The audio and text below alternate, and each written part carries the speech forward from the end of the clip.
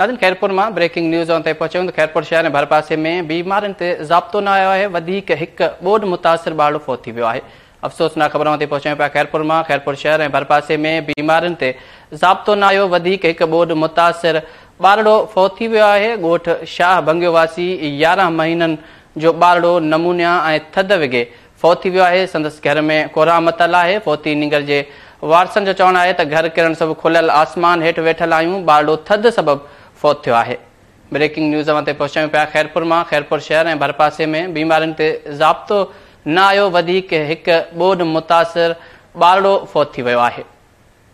अफ़सोस न ख़बर ते पहुचायूं पिया ख़ैरपुर मां ख़ैरपुर शहर ऐं भरपासे में बीमारियुनि ते ज़ाब्तो न आयो वधीक हिकु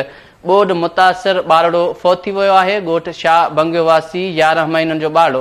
नमूनिया ऐं थधि विघे फौत थी वियो आहे संदसि घर में कोहरामतल आहे मासूम बाले जे वारसनि जो चवणु आहे त घर किरण सबबु खुलियल आसमान हेठि वेठल आहियूं बारड़ो थदि सबबि फौत थियो आहे ब्रेकिंग न्यूज़ ते पहुचायूं पिया ख़ैरपुर मां ख़ैरपुर शहर ऐं भर पासे में बीमारियुनि ते ज़ाब्तो न आयो वधीक हिकु ॿोड मुतासिर मासूम बारड़ो फौत थी वियो आहे ॻोठ शाह बंगियो वासी यारहं महीननि जो मासूम बारड़ो नमूनिया ऐं थदि विघे फौत थी वियो आहे संदसि घर में कोहरामतल आहे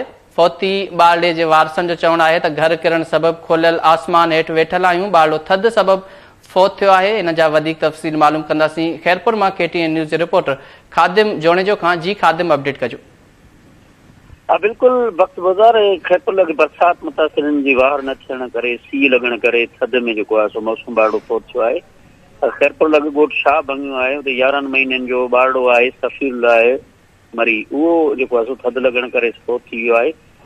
जंहिं करे घर में उन्हनि जे रोज़ राड़ो मतल आहे ॻोठाणनि जो चवणु आहे त बरसाति सबबु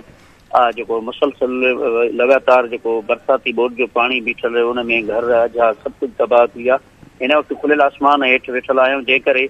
थधि जेका आहे उहा तकलीफ़ुनि में जे वरचाड़े छॾियो आहे ऐं सर्दी लॻण करे सीउ लॻण करे असांजो मौसम ॾाढो पहुतो आहे पर असांजी वार नथी थिए जंहिं करे हिन वक़्त बि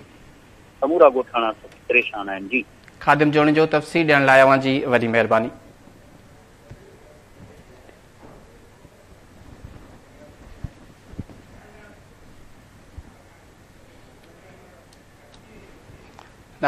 मां ब्रेकिंग न्यूज़ पहुचायूं पिया ख़ैरपुर वेझो मासूम बारड़ो